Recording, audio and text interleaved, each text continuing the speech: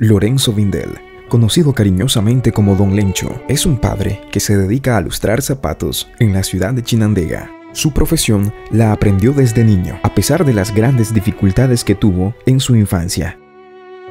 Mi mamá era de la costa atlántica, entonces me dejó ella con un tío y, ese tío me criaba pero me daba maltrato, entonces él me trajo como de unos, como de unos ocho años a lustrar y como era un niño pues no podía ilustrar, eh, tenía que, aprender y entonces me golpeaba para que yo pudiera, no tenía derecho a agarrarle ni un peso del trabajo. Habían gente que eran tranquilas conmigo, eh, de ver niño, tome, ¿cómo hace esto? Me hallaba comiendo, entonces me escapaba de reventar. Desde muy tempranas horas, Lorenzo inicia su jornada laboral ubicado en los alrededores de la antigua estación del ferrocarril, esperando a sus clientes para deleitarlos con sus melodías, tocando su guitarra, instrumento que logró aprender gracias a los amigos que llegaban a requerir de sus servicios como ilustrador.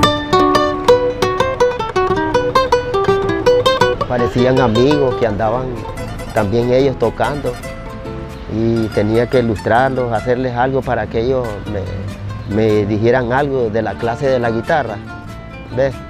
Y ir a pagar la clase me costaba muy caro. O también tenía que desocupar el trabajo y, ahí se me hacía. Entonces, aquí la aprendí de una forma autodidáctica, la guitarra.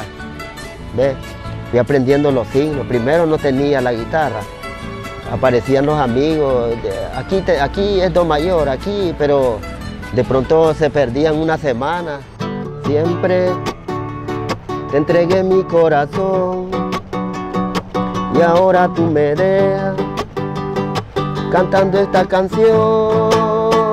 Quisiera, ya se me olvidaba, entonces, y ahí, pero un día vino un señor y me dijo, ¿de verdad quieres aprender a tocar guitarra? Sí. Hombre, yo tengo una guitarra, te voy a regalar una.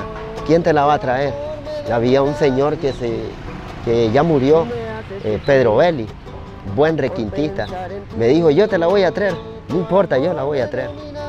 Entonces yo lo lustré y se fue en el carro a traerme.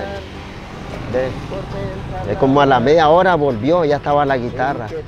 Ya pasaron los que me, los que me explicaban los signos. Ah, está bonita, está bonita, vamos a, eh, busquemos cómo, te vamos a conseguir las cuerdas y ya, entonces ya, y ya comenzó la cosa. Ya comencé a ponerle mente. Y así fue como fui surgiendo de la guitarra.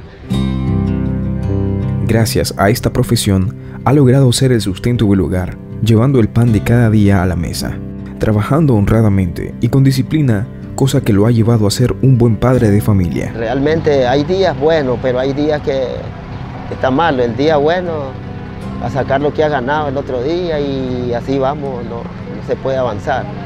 Y si quiero eh, hacer otra cosa, no puedo porque hay el asunto de, la comida, tengo que trabajar y soy el sostén de, de mi casa, tengo que llevar allá, pagar luz, pagar agua. Todo trabajo honrado es bendecido por Dios. Si usted desea apoyar a Lorenzo, puede hacerlo visitándolo. Él está ubicado frente a la parte este de la antigua estación del ferrocarril en Chinandega.